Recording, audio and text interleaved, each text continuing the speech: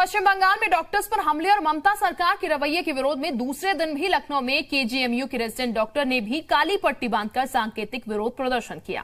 हालाँकि ओपीडी जारी रखी गई, डॉक्टर्स ने साफ़ कर दिया कि फ़िलहाल शांतिपूर्वक विरोध किया जा रहा है, लेकिन ज़रूरत पड़ी तो पूरी तरह कार्य बहिष्कार भी किया जा सकता है।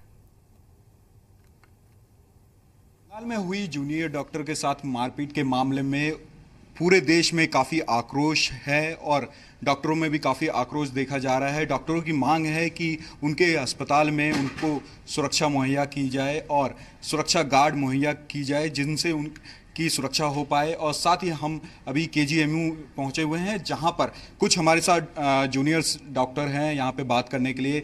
आप देख सकते हैं कि उनके हाथ में एक काली पट्टी बांधी गई है, वो लगातार दो दिनों से इस काली पट्टी को बाँध करके जो मरीज़ आ रहे हैं, जो अस्पताल में जो मरीज़ आ रहे हैं पेशेंट आ रहे हैं, उनको देख रहे हैं।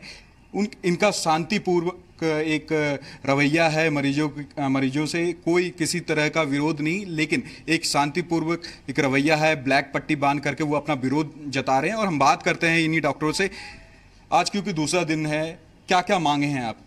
जी, हमारी मांगे हैं कि जिस तरह से अभी कुछ पिछले कुछ दिन में जो घटना हुई है, वो बहुत ही भयावह है। और अगर ये पहले भी होता रहा है, अब भी हो रहा है और आगे भी होता रहेगा तो हमारी मांग है कि ऐसा एक्ट लाया जाए जिससे हमें भविष्य में ऐसी स्थिति ना उत्पन्न हो पाए। घटनाएँ पे घटनाएँ होती हैं और इंसान का फिर मनोबल टूटता है और वो धीरे धीरे फिर एक इतनी बड़ी स्ट्राइक में या इतने मास लेवल रेजिग्नेशन में कन्वर्ट हुआ है।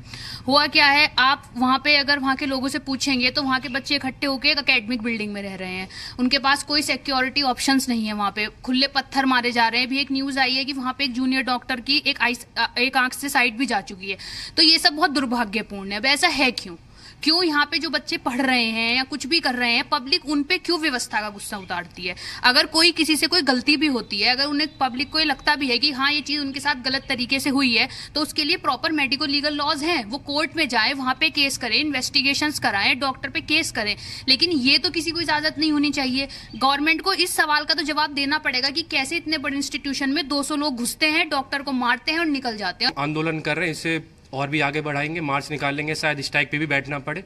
लेकिन जब तक मांग मतलब पूरी नहीं होती तो स्ट्राइक पे भी जाना पड़े तो हम उससे गुरेज नहीं करेंगे। हाल में जो घटना हुई है, उससे वो काफ़ी खफा है, काफ़ी रोष है उस घटना को लेकर के, और उसका काफ़ी विरोध करते हैं। जिस तरीके से आमतौर पर देखा जा रहा है कि डॉक्टरों के प्रति लोगों का रवैया है, उनको आकर के हॉस्पिटल में आकर के घुस जाते हैं और मारते हैं तो ये काफ़ी निराशापूर्ण है। उसको लेकर के केंद्र सरकार को एक नीति बनानी चाहिए, एक कानून पास करना चाहिए और उनको सुरक्षा मुहैया करवानी चाहिए। कैमरामैन अमर के साथ लोमो जी मीडिया, लखनऊ।